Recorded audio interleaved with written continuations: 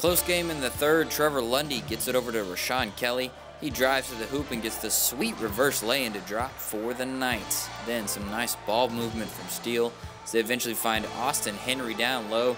He hits the nice little turnaround, and we are all knotted up at 28.